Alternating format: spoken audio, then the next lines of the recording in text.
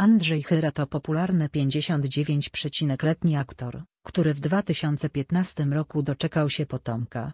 Syn Tadeusz może liczyć na jego ochronę, gwiazda rzadko porusza temat pociechy. Pierwszy raz od dawna zrobił wyjątek i w najnowszej rozmowie z prasą wyjawił, jakie są jego relacje z synem ze związku z byłą już partnerką Pauliną Jarosiewicz.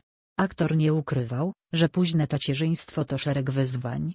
Z jednej strony stymuluje, a z drugiej stawia wymagania. Na przykład, żebym był partnerem w rozmowach na temat tego, co dzieje się w Minecrafcie, bo to są rzeczy, które dominują życie dziewięciolatka. Na naszych oczach dzieje się rewolucja, opowiadał Vivie. Aktor podkreślił, że nowe technologie są ważne nie tylko dla dzieci, ale też rodziców, którzy muszą tak planować wychowanie, by nie zatracić zupełnie głowy w nowoczesnych rozwiązaniach. Następnie zwrócił uwagę, że z synem są do siebie podobni, lecz wychowują się w innych domach, a co za tym idzie, ich charaktery budowane są w inny sposób.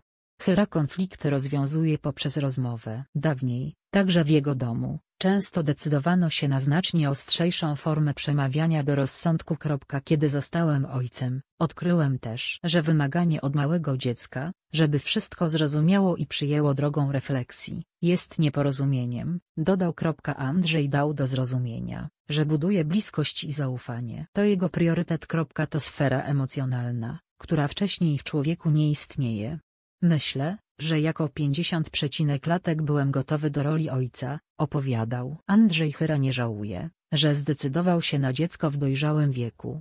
Wyjawił, że latami zdobywał doświadczenie, swoje przeżył i podejmował różne decyzje, te dobre i złe. W ten sposób zyskał pewność, że jest gotowy, by przekazać swoją wiedzę kolejnemu pokoleniu. To wszystko złożyło się na worek doświadczeń, z którego teraz mogę wyciągać narzędzia jako ojciec, ale ojcostwo to również kompromis z mamą, czasami trudne, zwłaszcza kiedy inaczej. Widzimy priorytety w życiu i w wychowaniu, przyznał.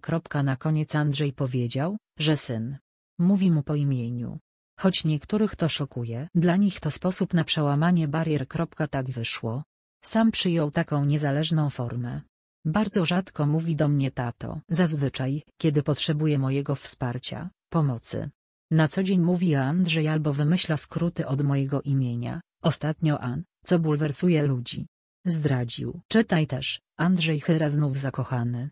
A to nie koniec, zrobiło się poważnie Cielecka bawi się w najlepsze z ukochanym. Przyłapał ich jej były po rozstaniu długo nie rozpaczał. Andrzej Chyra przyłapany. I to z kim Andrzej Chyra pierwszy raz od dawna zrobił wyjątek aktor nie ukrywał, że późne tacierzyństwo to szereg wyzwań, nie zatracić zupełnie głowy w nowoczesnych rozwiązaniach kiedy zostałem ojcem, odkryłem też, że wymaganie od małego dziecka, żeby wszystko zrozumiało i przyjęło drogą refleksji, jest nieporozumieniem, dodał. Tak wyszło. Sam przyjął taką niezależną formę. Bardzo rzadko mówi do mnie tato, zazwyczaj, kiedy potrzebuje mojego wsparcia, pomocy. Na co dzień mówi Andrzej albo wymyśla skróty od mojego imienia, ostatnio An, co bulwersuje ludzi. Czytaj też, Andrzej Chyra znów zakochany. A to nie koniec, zrobiło się poważnie Cielecka bawi się w najlepsze z ukochanym. Przyłapał ich jej były po rozstaniu długo nie rozpaczał. Andrzej Chyra przyłapany. I to z kim,